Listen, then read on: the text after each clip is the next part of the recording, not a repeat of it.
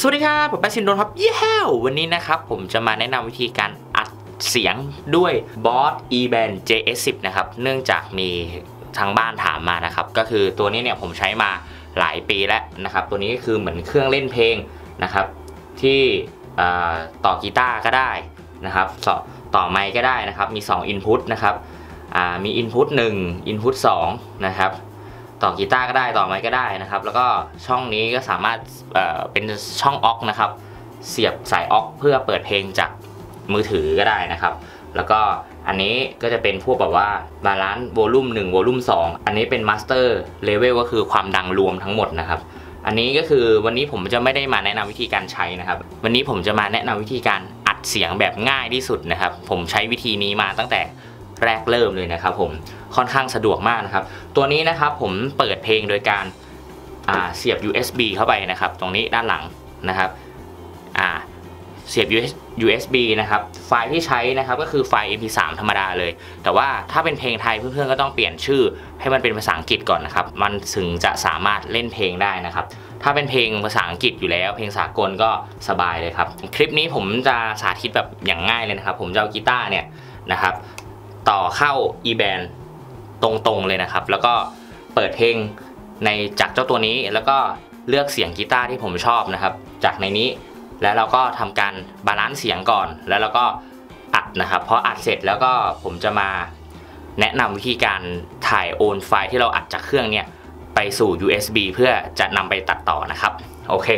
เดี๋ยวมาเริ่มกันเลยฮะอะผมจะเน้นไปที่ตัวนี้นะ คราวนี้มาถึงขั้นตอนการอัดนะครับ อันนี้ผมจะเลือก backing tag มาอันนึงนะครับ คือผมจะไม่ใช้เพลงทั่วไปเพราะว่าเดี๋ยวจะโดนลิขสิทธิ์นะครับ อันนี้เป็น backing tag ที่รุ่นน้องผมทำมานะครับ ผมก็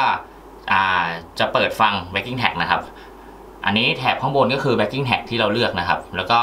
อันที่2เนี่ยคือเสียงกีตาร์เรา อย่างผมเนี่ยเพลงนี้ผมจะโซโล่นะครับ ผมก็จะเลือกซาวที่ผมชอบ ผมชอบซาวที่113นะครับ มันก็จะเป็นเสียงแตกที่ผมชอบ แล้วก็จะมี delay อยู่นิดๆนะครับ เพื่อทำการโซโล่ อะ โอเคครับ อันนี้เดี๋ยวผมจะลองทำให้เพื่อนๆดูก่อนนะครับ step แรกเลยนะครับ แล้วก็ balance sound กันก่อนครับ โดยที่ผมจะเปิดเพลงรวมๆก่อนนะครับ แล้วก็เช็คเสียงกีตาร์ว่าเสียงกีตาร์มันดังไปเบาไปไหมนะครับอ่าผมลองเปิดดูก่อน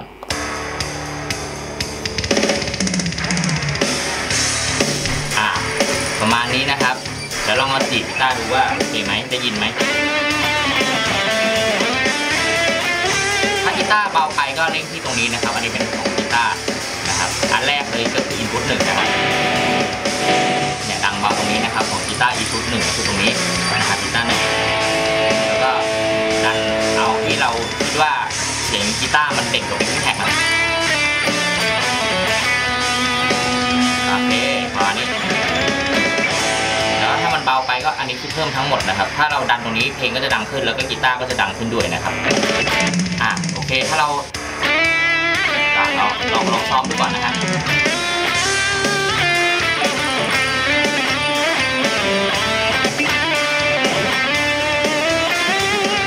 อะโอเคเราคิดว่าโอเคซาวโอเคแล้วคราวนี้ขั้นตอนต่อไปนะครับ เราจะอัดเสียงแล้ว เราก็กดปุ่มนี้ครับ record นะครับ ตัวนี้เวลากดมันจะมีไฟแดงขึ้นมานะครับพอกดเสร็จแล้วมีไฟแดงขึ้นมาปุ๊บเลขนาทีวิ่งปุ๊บแล้วก็กด play แล้วเราก็เล่นพร้อม backing track ไปได้เลยครับ อ่าผมกดอัดแล้วนะครับ มันจะมีเลขวิ่งแล้วมีไฟแดงขึ้น คราวนี้เราก็ลองดูครับ ลองอัดเสียงดู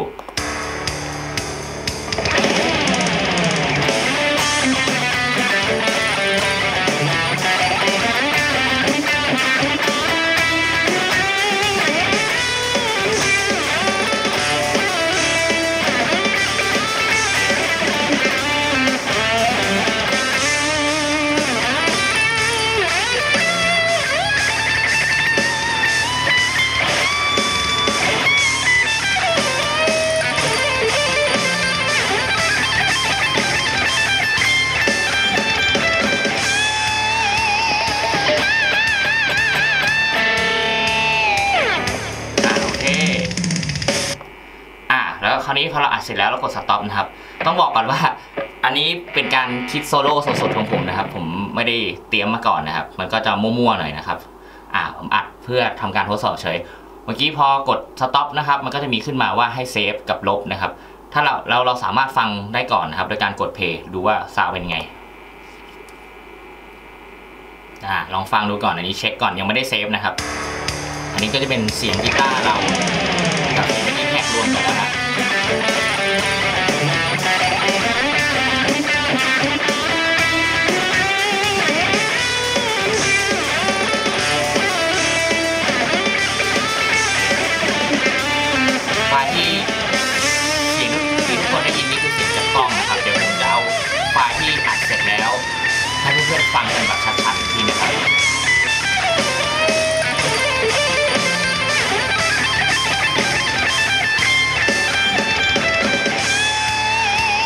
สมมติว่าเพื่อนๆโอเคแล้วนะครับ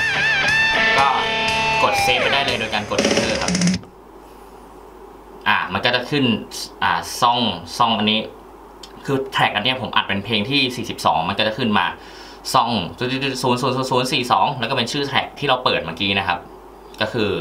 อันนี้คือเรียบร้อยแล้วนะครับ คราวนี้เรากดฟังมันก็จะเป็นเสียงแบบเมื่อกี้เลยที่อัดกันมารวมเรียบร้อยแล้วนะฮะ อ่าลองฟังดู อ่า เคนะฮะอ่ามันก็จะเป็นซาวเพลงนี้เลย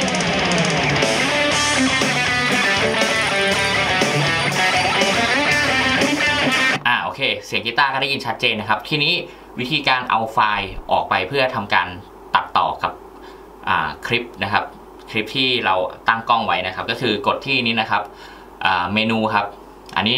เราก็ต้องไปหา track ที่เราอัดก่อน อันนี้คือ track ที่ 42 ก็คือชื่อ track ที่เราเปิดเป็น backing track เมื่อกี้นะครับ คราวนี้กดเมนูครับอ่าแล้วไปที่ song ครับอ่า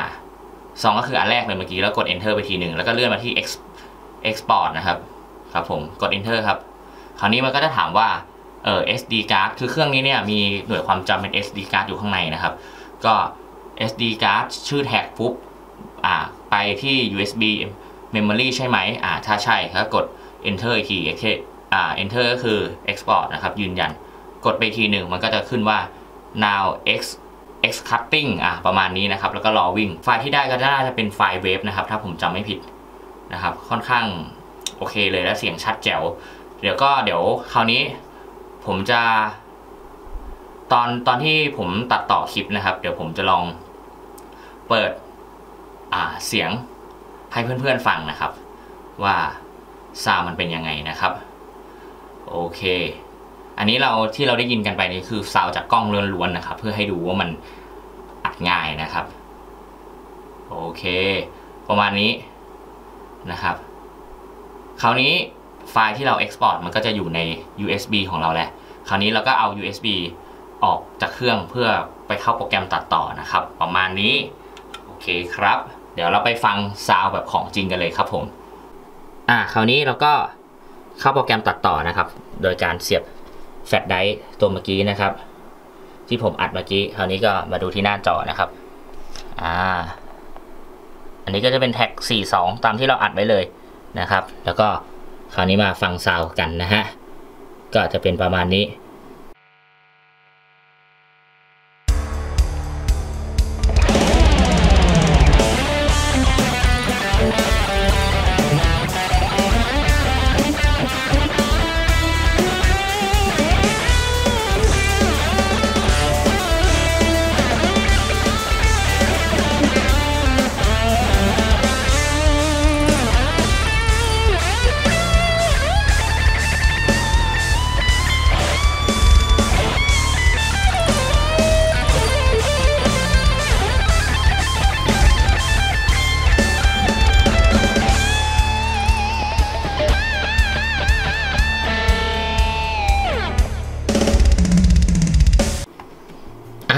เค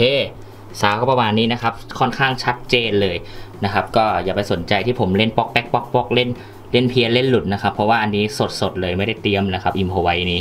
โอเค ประมาณนี้ครับ โอเคครับ วันนี้เราก็ได้เรียนรู้วิธีการอัดเสียงจากเจ้าบอส eBand JS10 ตัวนี้ไปแล้วนะครับ ก็ค่อนข้างสะดวกสบายมากๆเลยนะครับ ขอแค่มี USB ตัวเดียวนะครับ แล้วก็สามารถถ่ายโอนไฟล์ที่เราอัดจากเครื่องนี้ไป